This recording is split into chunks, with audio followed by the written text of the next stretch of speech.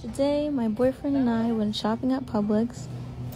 I know a lot of people say that Publix is expensive, but they had a buy one, get one free deal today, so we had to utilize that.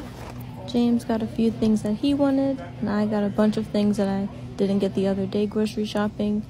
Someone sent me a late birthday gift, you know, monetary, so I was able to use it towards groceries.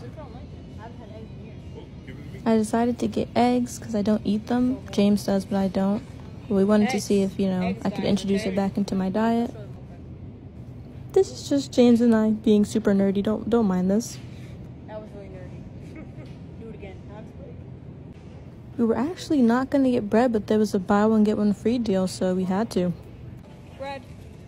I mean, that's like Jamaican bread is the healthiest. It's naturally sour.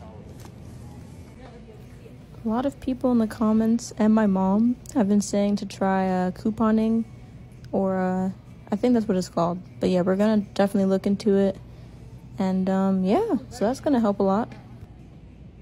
James recently decided that he wanted to take his uh, hygiene to the next level. It's already not bad, but like he wants to smell better, he said, and like just do things better. I don't know. I think it's attractive when guys want to take care of their hygiene and stuff. I find it very, very good. Very good. Look how long this thing is, guys.